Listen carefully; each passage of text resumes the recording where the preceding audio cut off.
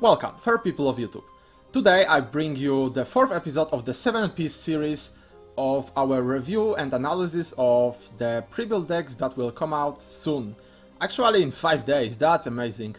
Can't wait, alright, but anyway, in this episode we'll cover the Dragon deck, Aura of the Waterwyrm. If this is your first uh, video of this kind that you are watching on my channel, uh, I will just quickly say that we are reviewing the deck.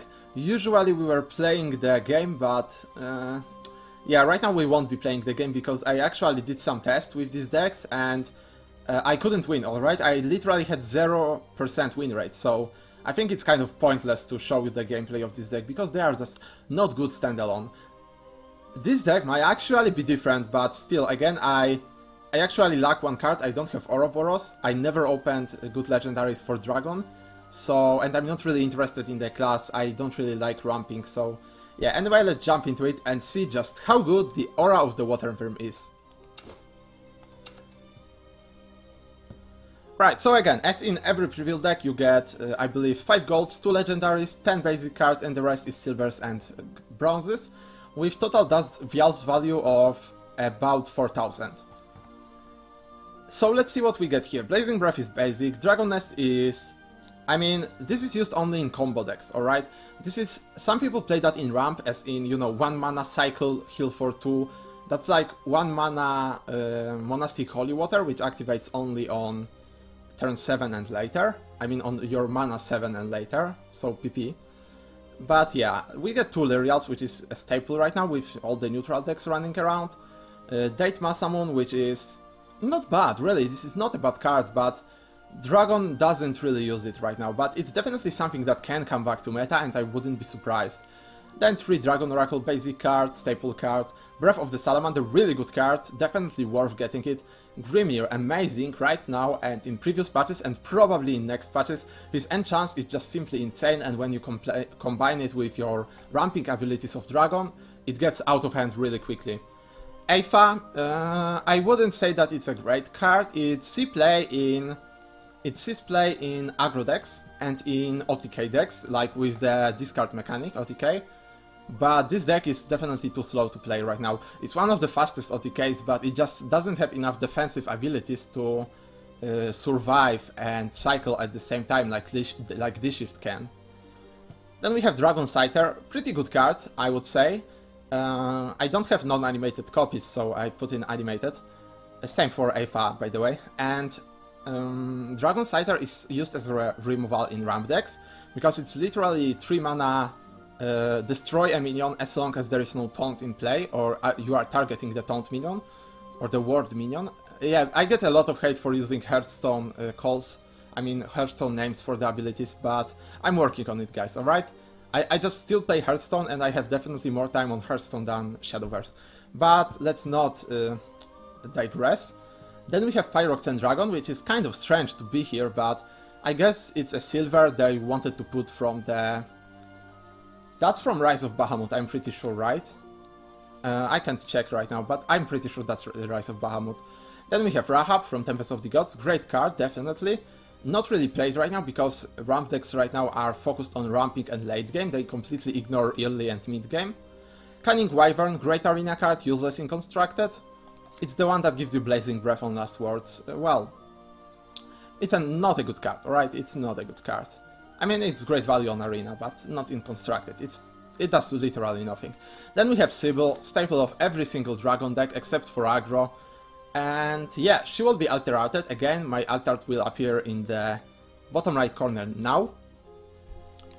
Then we'll have Rough Drake. It's kind of good actually. It kind of fell out of meta, it was played more, but uh, as people realized that Neutral Craft uh, as the main aggro actually very often ramps uh, over the 3 HP limit of the Rough Drake, they actually stopped playing the Rough Drake because it was never killing anything. Hippocampus, uh, kind of a meme card, I mean, a 5 mana that evolves into 7-7 is pretty crazy, but I mean, aside from killing uh, Lucifer with this, or Abyss, that is non-evolved, well, if Abyss is not evolved and actually attacked you, you are probably dead anyway, so you don't kill it with Hippocampus. But yeah, mm, that's probably to, to be cut out, that's just a filler bronze. Draconic Fervor, uh, definitely a staple card. In every single Dragon deck you play 3 copies, and again, except for aggro.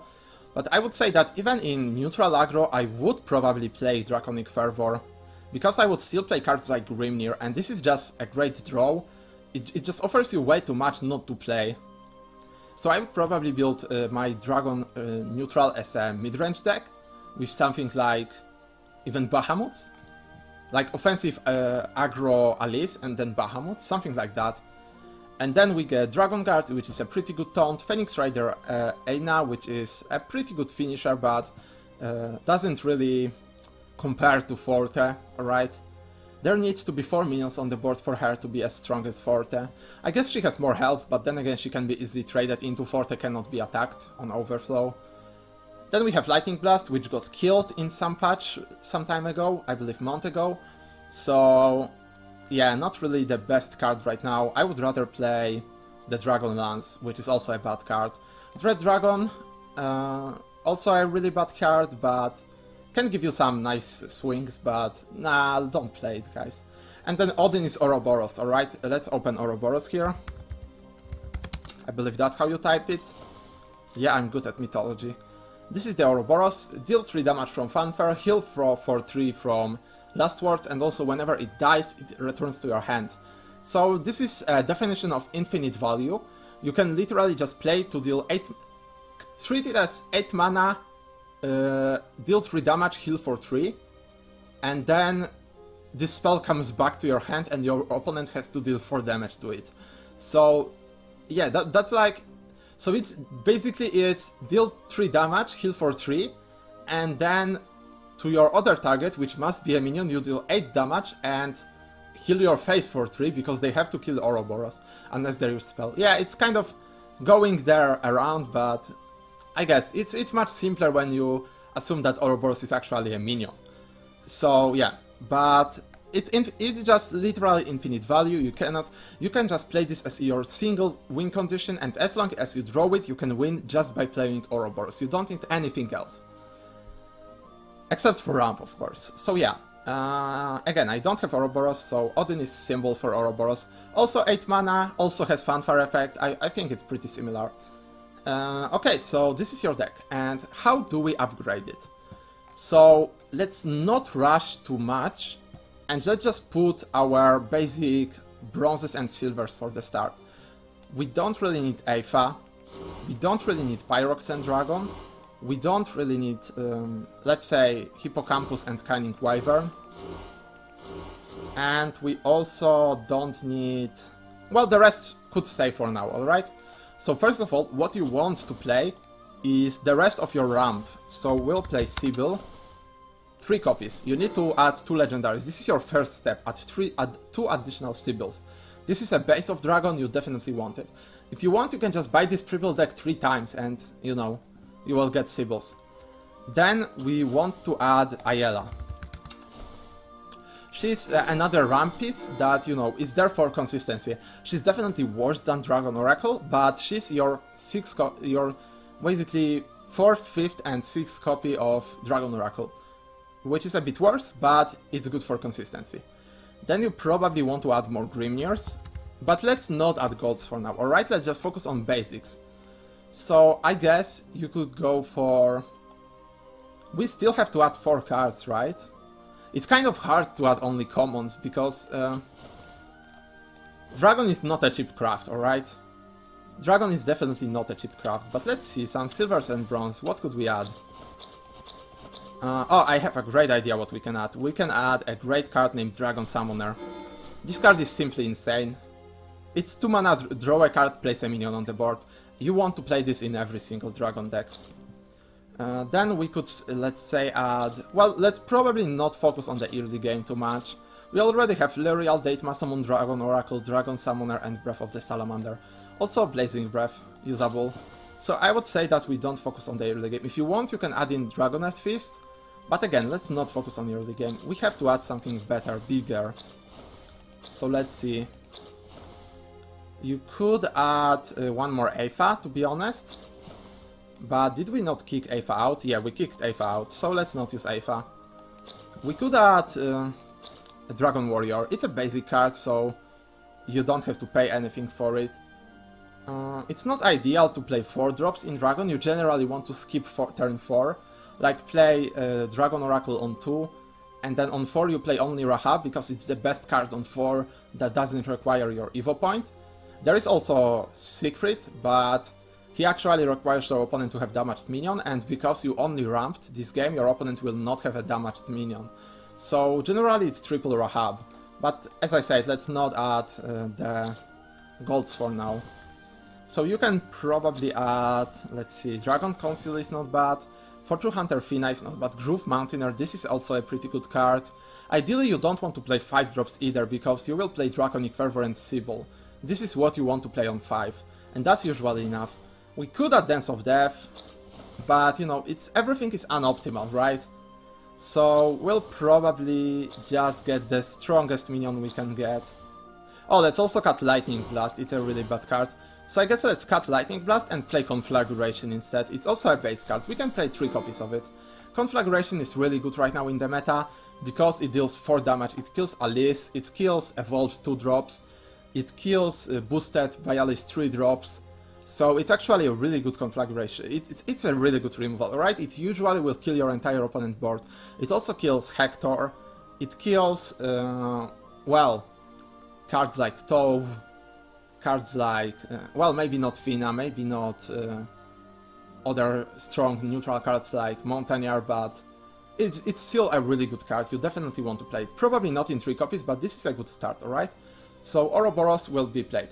Then our next step in upgrades will be getting rid of uh, the Phoenix Rider Aina, getting rid of one conflagration, even though we just added her, getting rid of Dread Dragon and Dragon Guard because these are not optimal cards, We'll also, we will keep Wrath Drake for now, and I guess we will keep, uh, we'll kill the and the Real. These are not really needed. We can also kill Dragon Nest, but let's keep it for now. And now we'll add golds, alright? We'll add golds. Let's not focus on legendaries yet. Golds you wanna play are Grimnir. Wait, is it not how you type that? Gleam... Oh wait, because I have checked only bronze and silvers. You want to play tri triple Grimnir, you want to play triple Rahab. Again, Rahab is not really optimal in the current meta, but we are going step by step, alright? And then uh, from other golds you also want to play Breath of the Salamander. Uh, and then, let's see, other golds. I'm not a dragon specialist, alright? This is probably my worst class. So I, I, know how to play this deck, so I definitely will give you some good idea, but uh, don't don't follow me exactly, you know, card by card, because I can actually let's disenchant that. Why not? Uh, we can play Neptune is not a bad card. Polyphonic Roar is not a bad card. Genesis Dragon is also a pretty good card. Let's play Genesis Dragon. This will be our late game finisher, right?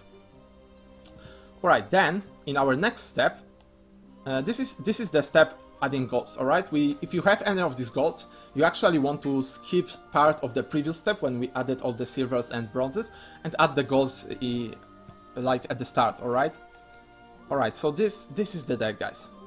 For now, this is, remember, Odin is equal to Ouroboros.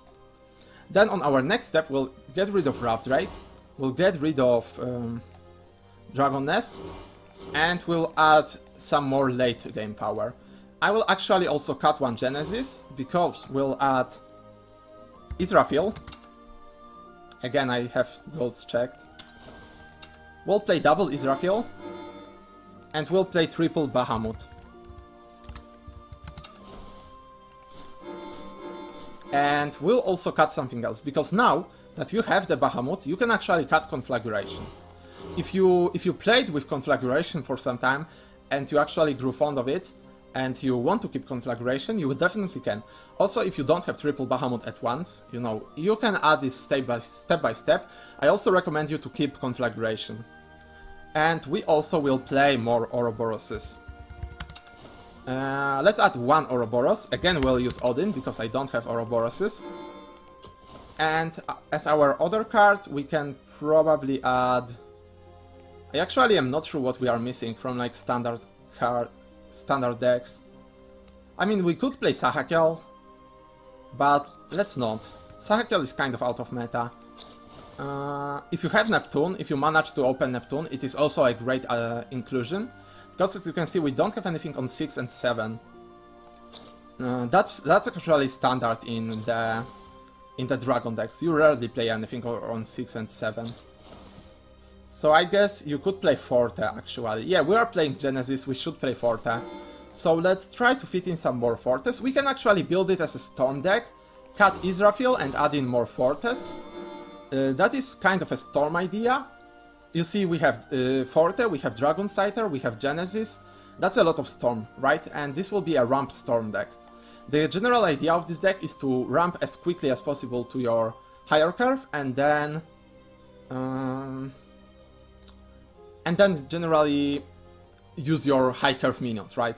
So this will be your next step, and then in your final step you want to uh, probably include Urd, include Urd, because Urd is a card that we Forte together allows you to deal 10 damage for 2 cards. You can also use Urd to give additional attack to Genesis Dragon that was already on the board. And yeah, that's, that's basically what Urd does. I don't think Urd is like a must-have, but you definitely could fit it in. Where I would fit it in is probably in space of Rahab, but in the current meta I definitely recommend playing Rahab. So this would be the this would be kind of the Storm ramp deck, which would originate from uh, this pre-build deck. What you want to, like how you get those cards is, you can definitely get Forte from pre-build deck, you will get a very cool Alt Art Forte. You can probably also get, I, I believe Genesis was in this pre-build deck as well. Mm, then we have, well, everything else is pretty standard. Breath of the Salamander is included in this pre-build deck.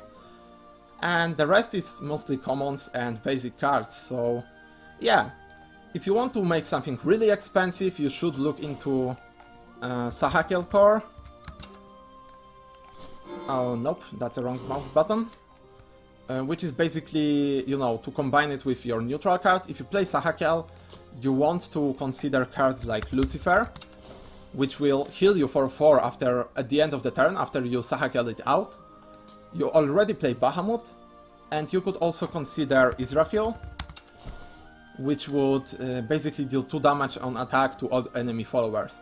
So that would be your board clear on turn 7. But there is a lot of cutting to do if you want to play this deck. You would probably have to cut Genesis and Dark Dragoon Forte.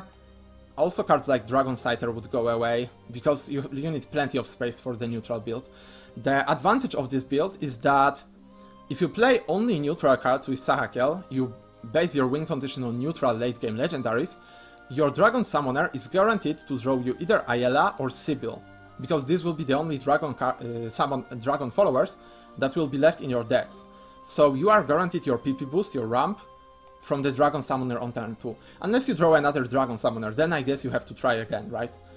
So yeah, this is the idea of how you build your deck. Also, another uh, style of the Dragoncraft deck you could consider is Genesis Dragon with cards you basically, you know, I will save this, I will quit this deck, and I will show you this deck, because uh, this is also something you could build from this deck, and that is Genesis of OTK. How this deck works is, you cycle a lot, just notice this, I play triple Ivory Dragon, triple Dragon Nest, triple Summoner, triple Oracle, triple Emissary, uh, triple Goblin Mage, um, triple Draconic Fervor, and then our win condition and ramp. So our win condition is Queen of the Dread Sea, you how she works is you basically choose one neutral, one class card, and then you discard everything else, but those you chosen cost zero, so you can play them immediately. And you choose to play, of course, Genesis Dragon, which you can fetch with your Dragon Summoner, and Ariad, which you have to find on your own. And the, the plays, you played Queen of the Dreadsea, uh, you chip down Genesis and Ariad to zero, you play Genesis, evolve it, go for 9 to the face, Ariad the Genesis, go for another 9 to the face, that's 11, uh, that's 18 damage burst. That's a lot of damage, right? But you need to save your Evo till your turn 10, and the deck... Well, I would say the deck is pretty consistent, because you actually have so much cycle that you can just focus on early game on ramping and removing your opponent board with cards like Blazing Breath, Dragonet Fist and Breath of the Salamander, And after that, you can take your sweet time to cycle when you have some big stuff on the board already, like Sibyl and let's say uh, first Genesis even. Or first Ariet, you you can play one Ariet. We play two. we need only one copy. We we play two to increase the chances of drawing it. And I'm pretty sure that this video is actually getting long. It's 20 minutes, so we'll cut it here. And with that said, guys, peace out. Have fun with your Alt Art Saber.